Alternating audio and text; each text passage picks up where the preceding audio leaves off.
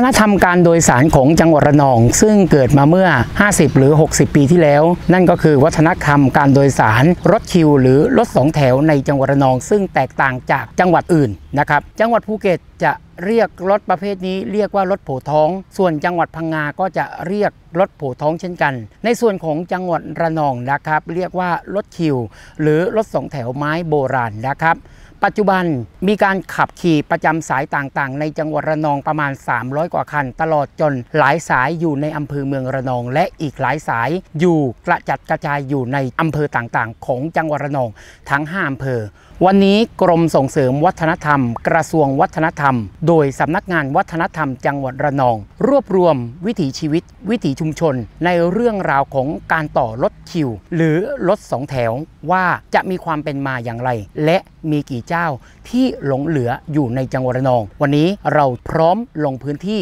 ในการดูข้อมูลหรือว่าศึกษาข้อมูลบันทึกข้อมูลในเรื่องราวของการต่อรถคิวครับ มาเถิดพี่น้องเที่ยวเมืองระนองให้สุขอุรา มาเถิดพี่น้องเที่ยวเมืองระนองให้สุขอุรา ระนองไม่ไกลหรอกนะเลี้ยวซ้ายเลี้ยวขวาก็ถึงระนอ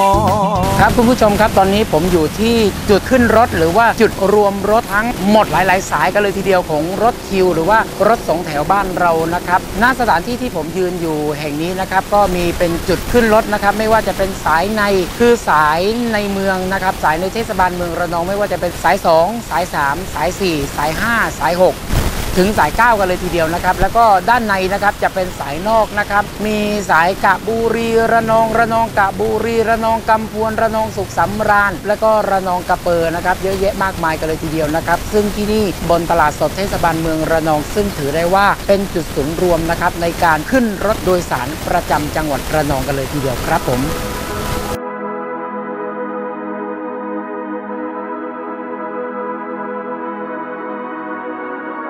เอกลักษณ์อีกหนึ่งอย่างของจังหวัดระนอง ที่อยู่คู่เมืองระนองนั่นก็คือรถสองแถว หรือชาวระนองเรียกติดปากว่ารถคิว รถสองแถว หรือรถคิว จะพบมากใน 3 จังหวัดริมฝั่งอันดามัน เช่นภูเก็ต พังงา และระนอง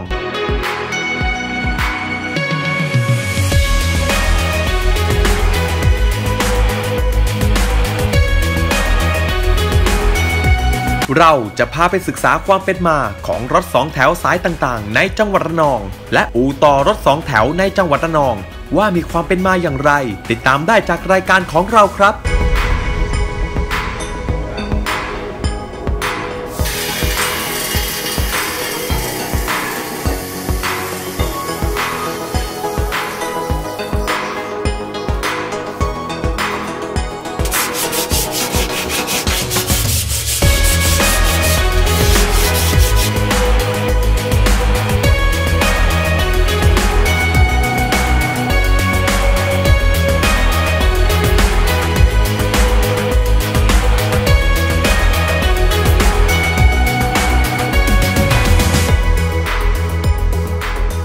นายวิหารเติมรอายุเท่าไหร่ครับำ66ย่าง10 67 แล้ว เริ่มต่อรถสองแถวมาตั้งแต่ปีอะไรมหาดก็มาเป็นลูกน้องเขาอายุ 26 ปีที่ระนองนี่แหละเรามีแนวคิดยังไงว่าทำไมถึงมาต่อรถสองแถวมาเป็นลูกน้องเขาครับ ที่แรกมันก็เป็นงานเลยหางานทำเฉยๆไม่คิดว่าจะต้องมาทำอย่างนี้นะทำเป็นงานเฉย หางานทำพอทำไปทำมามันก็ก็เริ่มเป็นแล้ว ไม่รู้จะทำอะไรอะมันก็ต้องเลยทำตอนนี้ตลอดมา ใช้เวลากี่ปีในการฝึกเป็นลูกน้อง เป็นลูกน้องก็ประมาณ3-4ปีแล้ว3-4ปีนี่ก็เริ่มจะเป็นแล้ว แต่ว่าเป็นลูกน้องก็หลายปีนะมันมีความยากง่ายยังไงบ้างในการต่อรถสองแถว มันก็ไม่ยากนะ ไม่ยากหรอกแต่ว่ามันต้องใช้เวลาบางอย่างต้องใช้เวลาทำนานไปหน่อย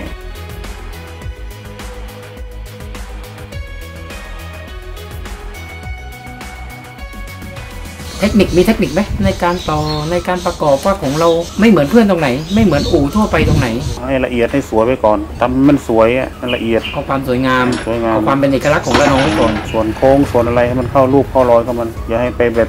แบนๆตรงๆ มันก็ไม่สวยให้มันมีส่วนโค้งหน่อยถ้าวิธีทำก็ต้องเอารถมาก่อนใช่ไหม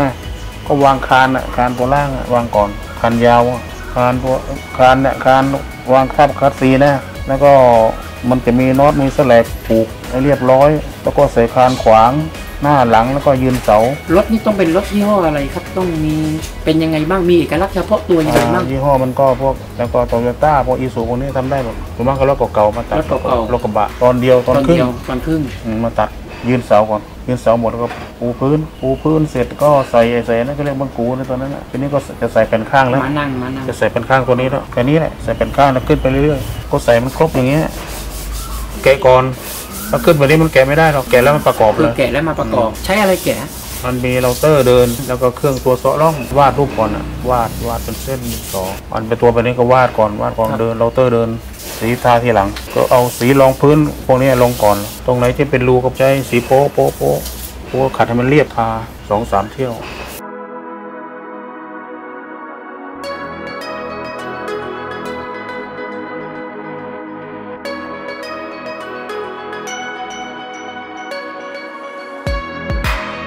วัสดุอุปกรณ์อ๋อวัสดุอุปกรณ์งานช่างมีอะไรบ้าง ก็มีน็อตมีเหล็กเหล็กฉากพวกเหล็กลูกโป่งอย่างเงี้ยเนี่ยอุปกรณ์สังกะสีมุงกบหลังคาก็ก็แบบเนี้ยแหละเนี่ยอย่างอันเนี้ยอืมใส่อย่างเงี้ยเป็นอลูมิเนียมอลูมิเนียม บางคนก็จะไปใส่สแตนเลสเขาก็ไปใส่เอง มีพวกเลื่อย พวกกบสายไม้สว่านแล้วก็อะไรอีกอะพวกช่างไม้ได้แหละของช่างไม้ ส่วนมากจะใช้มือทำไม่มีเครื่องจักรกลหนักๆใหญ่ไม่มีๆ อย่างใช้เช่นมือเครื่องอบไม้เครื่องอะไรไม่มีเอาอบไม้ไม่มี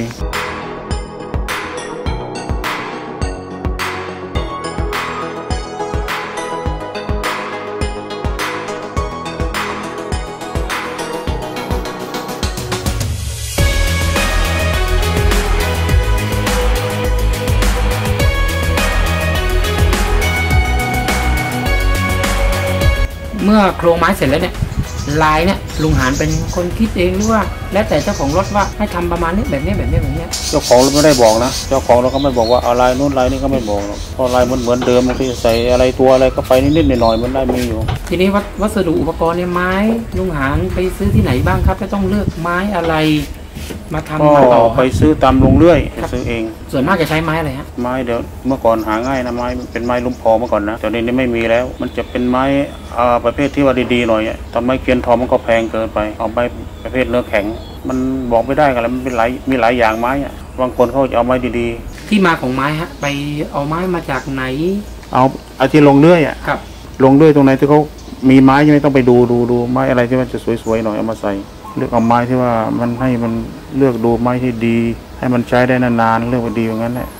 รถหนึ่งคันลุงหานต่อได้ประมาณกี่วันครับหนึ่งคันนั้นเดือนกว่ารถใหญ่กับรถเล็กมันมีความยากง่ายต่างกันตรงไหนรถใหญ่แล้วมันก็รถใหญ่มันก็ยากยากช่วงข้างหน้านะรถใหญ่รถหน้าตัดนะข้างหน้า แต่ทุกอย่างก็เหมือนเหมือนกันแหละแต่มันใช้ไม้ยาวไปหน่อยมันก็หนัก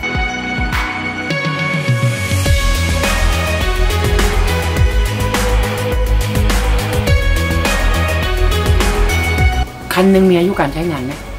อายุการใช้งานเนี่ยประมาณถ้าไม้ดีๆก็ทนนะสิบปีสิบปี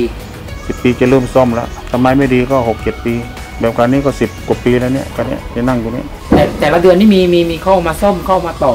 กี่คันได้ มาซ่อมเดือนหนึ่งซ่อมวันสองวันนั้นมีอยู่หลายคันแหละวันสองวันสองสามวันถ้าเป็นเดือนเดือนก็สองคันสามคัน มันสองซ่อมวันเล็กๆน้อยๆอะซ่อมใหญ่ๆแล้วมันก็นานเดือนสองเดือนซ่อมใหญ่ๆก็บางทีเดือนนึงไม่เสร็จนะไม่ใช่ทำคันเดียวการนู้นบ้างคันนี้บ้างซ่อมแบบนี้ก็เป็นเดือนนะการการเนี้ยการเนี้ยลื้อไหนจะลื้อออกไหนจะใส่เข้าไปอีกรายได้ต่อคันนี้เรามีรายได้ยังไงบ้างต่อเดือนต่อเดือนรายได้ก็มันก่อนรถจะเข้ามาก็เบิกมาก่อนใช้ก่อนต้องซื้อของซื้อปของกรณ์บางทีนู่นก็นี่ไม้ไม้ก็ไปเอามาก่อน พอรถออกก็เหลือหมื่นสองหมื่นหมุนคันอื่นต่อไปเป็นแบบนั้นนะครับคือเอามาจุนเจือเอามาหมุนไปเรื่อยหมุนไปเรื่อยๆเพ ราะว่าเงินเก็บไม่มีๆอยู่ได้แต่อยู่ได้อยู่อยู่ได้ อยู่ได้ วิธีคิดของลุงหานเนี่ยเราคิดยังไงกับเรื่องรถสองแถวบ้าง ในฐานะที่ลุงหานอยู่กับรถสองแถวมาช้านานถ้าอนุกอนุรักษ์ไว้ก็ดีนะ ต่อไปมันจะหายากแล้ว คนทำไม่ค่อยมี ลุงหานมีผู้สืบทอดไหมครับ ไม่มีเรามีความรู้สึกเป็นยังไงบ้างถ้าเราเราไม่มีผู้สืบทอดตอนนี้ ก็ก็คนอื่นน่าจะทำได้อะคิดอย่างนั้นนะพอลุงหันมาอยู่ใช่ไหมครับคนอื่นก็ต้องทำขึ้นอีกมาแทนอีกเขาทำได้นะ แต่ว่าที่ที่บ้านไม่มีใครทำนะมันเป็นงานหนักงานหนักแล้วสุขภาพอีกฝุ่นแบบเนี้ยทำให้หอบนี่ก็เป็นหอบอยู่นะ